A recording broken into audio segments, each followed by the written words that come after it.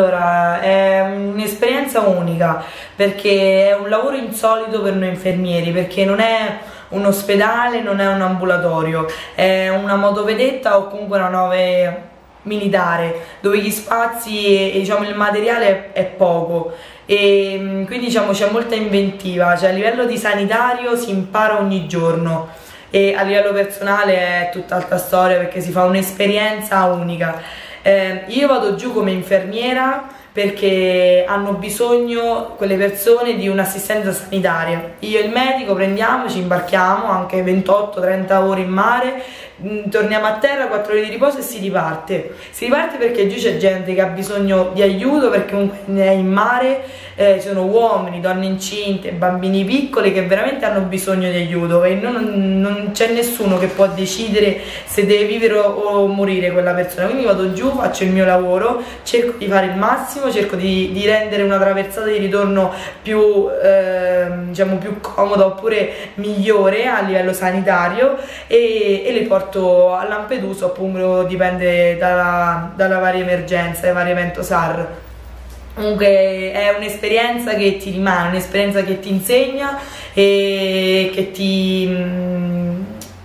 ti, ti lascia qualcosa dentro che ti fa maturare. È, non, non, non, si può spiegare, comunque si ha sempre la voglia di, di, di, ritornare. E a livello sanitario ovviamente sì, soprattutto per una persona giovane come me che è appena laureata impari tantissimo. Perché comunque vai a collaborare con persone di un'esperienza impressionante, quindi vai a lavorare proprio con, con gente importante, gente brava, quindi il tuo bagaglio professionale si ingrandisce e poi quello personale è tutt'altra storia anche perché comunque si vedono cose brutte perché non, non, si può negare. Si vede proprio la morte e la morte non solo nelle persone adulte ma anche nelle persone piccole. Vedi donne incinte che sono lì pronte al parto vedi bambini di due anni e quando vedi quelle cose quando vedi i loro occhi ti, ti, tutto cambia soprattutto quando c'è una brutta traversata, vedi un bambino che ti sorride, ti cambia, cioè ti cambia tutto, cioè io vado tante volte lì solo, per, solo anche per, per, un sorriso, non solo di un bambino, anche di una persona qualunque, perché quando una persona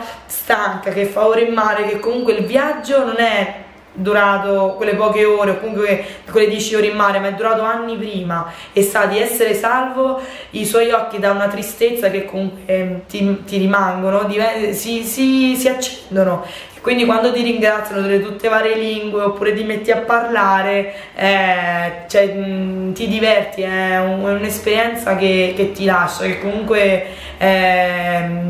tutte le persone che vogliono capire cosa c'è dietro a, agli sbarchi io gli consiglio veramente di andare a Lampedusa e vedere con i loro occhi cosa veramente succede. O comunque non basta Lampedusa, basta un centro d'accoglienza basta vedere la gente, basta sentire i racconti di, di, queste persone che la maggior parte sono giovani che tante volte sono anche persone laureate persone che vogliono venire a fare qualcosa. Quindi non ci sono solo persone che, che si vogliono approfittare come tanti pensano. Io ho incontrato anche colleghi durante gli sbarchi ho incontrato infermieri, ho incontrato medici che mi hanno aiutato vedendomi in difficoltà. Oppure ho incontrato persone che durante uno sbarco difficile veniva e ci aiutava con la la traduzione perché comunque ovviamente la lingua è un ostacolo. Quindi eh, non sempre port portare queste persone è una cosa negativa anzi cioè io veramente è un'esperienza che mai avrei mai non avrei mai pensato di poterla fare o comunque non ci ho mai pensato. Quando mi è stata ovviamente offerta l'occasione ho provato mi sono messa alla prova e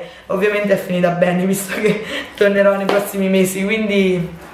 ecco è un'esperienza che ti sta segnando e ti continuerà a segnare quindi. Sì anche perché quando purtroppo arriverà il momento che anche io mi, comunque mi dovrò stabilizzare perché comunque fare un mese sì un mese no eh, non ti può non ti rende la vita comunque facile anche la vita privata una famiglia e tutto il resto. Purtroppo ci dobbiamo stabilizzare. Solo il pensiero che non ci possa andare più come tanto tempo comunque ovviamente userò le ferie per andarci una ferie di una settimana ti ci viene il magone perché quella isola è magica, c'è una collaborazione con la guardia costiera impressionante, si diventa una famiglia, quella famiglia ti manca, quindi non solo il soccorso ma anche il lavorare con loro, che sono delle persone che si veramente, delle persone straordinarie che rischiano la vita veramente e sono stupende, cioè io della guardia costiera ammiro veramente che prima per me la guardia costiera manco era militare, ignorantissima, quando sono venuta lì ho visto il lavoro, la fatica e la voglia l'entusiasmo che ci mettono, sono rimasta colpita colpita, infatti è, è, la voglio andare lì e la voglio anche di collaborare con loro, è, è bello, non c'è un... non so come spiegarlo, non si può spiegare, si, si può solo vivere una cosa del genere.